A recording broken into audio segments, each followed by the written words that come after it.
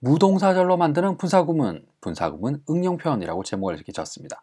제목이 참 거시기한데 내용은 정말 별거 없어요. 그러니까 편안하게 오늘은 그냥 따라오시면 됩니다. 복습해볼게요. 지겹게 복습하는 거죠. ed 중동사로 만드는 분사구문 한 줄로 요약하면 뭐다?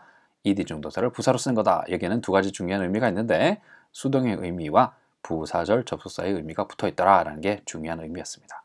그런데 ed 중동사도 결국은 동사에서 만들어진 거죠. 그죠? 그런데 동사를 아예 지워버리는 겁니다. 그러면 어떻게 되냐? 남는 건 형용사밖에 안 남아요.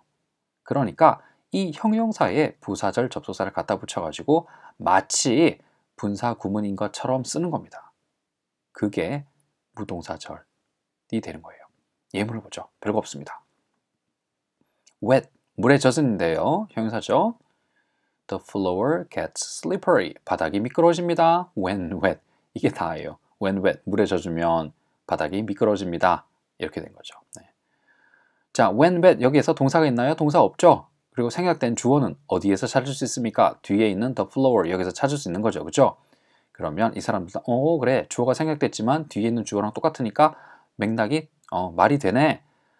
바닥이 물에 젖으면 미끄러워진다는 거지. 어, 이 정도는 우리가 상상할 수 있어, 유추할 수 있어. 이렇게 되는 거죠. 그런데 앞쪽에 when, when 이 자리에 동사가 없으니까 그래서 무동사절 이렇게 부르는 겁니다. 이름을 그렇게 갖다 붙인 거예요. 두 번째 예문은 young, 젊은입니다. Bob was an excellent swimmer. 밥은 훌륭한 수영선수였습니다. excellent, 탁월한 수영선수였어요. when young, 젊었을 때 이게 다예요. 네. When 여기에 동사의 흔적이 전혀 없잖아요. 그죠? ed 중동사도 없어. 그죠? 그러니까 이걸 무동사절이라고 하는 거죠. 무동사절. 동사가 없는 거다. 그런 표현인 겁니다. 그리고 when young 누가 젊었을 때 뒤에 나오는 밥이라고 이렇게 유추를 할 수 있는 거죠. 그죠? 앞에 주어가 생략됐으니까 뒤에서 주어로 찾을 수 있는 겁니다. 뒤에 있는 주어가 그대로 when young 여기서 생략된 주어다. 주어일 거야 라고 추측을 할 수 있는 거죠. 그 다음에 happy 만족해 하는 이라 했습니다. Bob went home early. 밥이 집에 일찍 갔어요.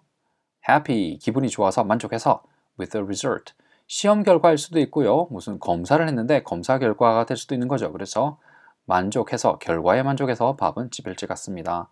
happy with the result 여기 동사가 없죠. 그래서 happy with the result 이 부분은 무동사절이라고 하는 거고요. 그 다음에 생략된 주어는 뒤에 있는 밥 뒤에 있는 주어랑 똑같을 거야. 네, 이렇게 생각하는 거죠. 요번엔 조금 특이한 예문인데 fresh, 신선한입니다. You'd better eat the sushi. 초밥을 당신은 먹는 게 좋습니다. When fresh, 신선할 때. 우리는 이게 전혀 이상하다고 생각하지 않습니다. 왜? 우리나라 사람들은 고맥락 문화에 있는 사람들입니다. 어떻게 하더라도 이게 음, 뭐가 신선한 거지? 네가 신선할 때 네가 초밥을 먹어야 돼? 이건 말이 안 될 거야. 그럼 신선한 건 뭐라는 거죠?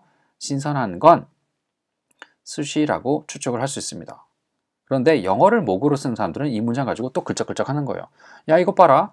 when fresh, 신선하게 신선할 때라고 할 때 생략된 건 주어인데 주어는 뒤에 가보니까 you네 네가 신선할 땐 네가 초밥을 먹어야 돼? 말이 안 되잖아. 아 신선한 건 초밥이겠지 논리적으로. 그러니까 어떻게 표시하는 겁니까? when fresh 이 무동사절을 뒤에다가 갖다 붙인 거예요. 그래서 생략된 건 주어지만 그 생략된 주어가 사실은 찾아가 보니까 주어 자리에 있는 게 아니라 목적어 자리에 있더라. 그래서 when fresh를 뒤에다 갖다 붙인 겁니다. 요 정도 센스는 그래도 이 사람들이 있어요. 네. 자, 무동사절 정리를 해보니까 이렇다는 겁니다. 형용사를 부사로 쓰는 거다. 원래는 어떻다는 거죠?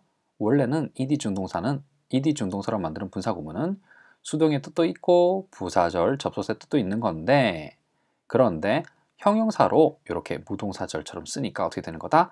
그냥 형용사의 뜻만 있더라 라는 겁니다. 여기서 제가 짚고 넘어가야 되는 게 있는데 이게 무동사절의 전부냐 라고 하면 그건 아니에요. 네. 무동사절이 여러 가지 형태가 있는데 그 중에서 분사구문과 비슷한 형태를 설명을 하면 그렇다라는 겁니다.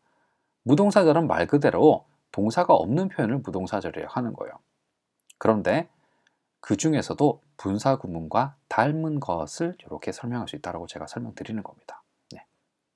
분사 어, 무동사절만 또 설명을 꼭지를 따서 설명을 제가 길게 해야 되거든요. 근데 오늘은 분사 구문하고 분사 구문과 닮아 있는 것만 설명드렸다는 거 여기 명심하시고요. 나중에 또 댓글로 딴, 그 딴지 걸지 마시기 바랍니다. 제가 분명히 설명했어요. 네. 무동사절 여러 가지 형태에 있다라는 거. 자, 다음 시간은 the injured, 부상자들, 부제로 이렇게 달았습니다. ed 준동사로 만드는 명사. 어? ed 준동사로 명사도 만들 수 있어? 네. 다 그런 건 아니지만 간혹 몇 가지가 이렇게 명사로 쓰이는 경우도 있습니다. 요거 다음 시간에 설명하도록 하죠.